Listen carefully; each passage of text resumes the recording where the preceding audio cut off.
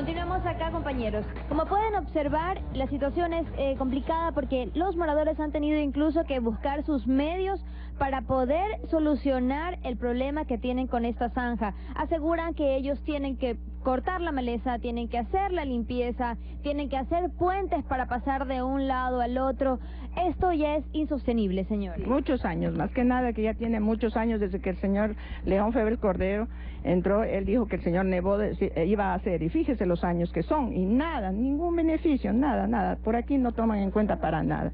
Entonces eso quisiera que el señor Nebo, la verdad, tome asunto y por lo menos que lo haga cerrar esto, que haga un ducto cajón, lo que sea, lo que vea mejor, pero la cosa es que tape este lodo podrido. Han pedido ustedes, en vista de que, ¿cuál es el mayor problema que acoja? El mayor problema es el lodo podrido que ya se pone más que nada cuando no llueve porque cuando llueve por lo menos esto lava. Pero cuando ya no llueve, en cambio, viene el mosco porque el lodo está podrido ahí, apesta eso, apesta. Son aguas hervidas. Vivo aquí en la esquina, entonces eso no se puede soportar. Hay rata en cualquier cantidad en el monte. ¿No ve que tanta maleza que ya crece? Vea como en tres días o cuatro días la maleza como está. Y los mosquitos también son un problema. Igual, el mosco es igual. Al menos en invierno el mosco es peor que uno no se puede, ni, ya le digo, ni hablar, no se puede ni nada, porque es a las seis de la tarde hasta las seis, hasta las siete, siete y media, es que no se puede ni, ni hablar.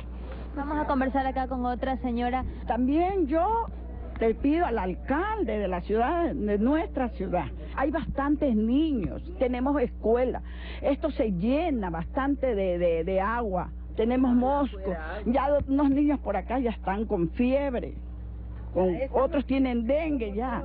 Entonces queremos que el alcalde de Guayaquil nos apoye, nos ayude para que por lo menos nos cierren esta zanja, que esto es lo que queremos. Son 36 años que tenemos aquí y nada, pero con, como sabemos que el, abogado Jaime Nebozadie es tan humanitario con los niños que haga, que nos tape esta zanja. Eso es lo que nosotros queremos. Señor, usted me comentaba que no solamente es agua lo que baja por este canal. Hasta perros muertos también mandan. No es que no, corre el agua. Entonces corre para allá el agua. Y la, la mugre, usted viera cómo está.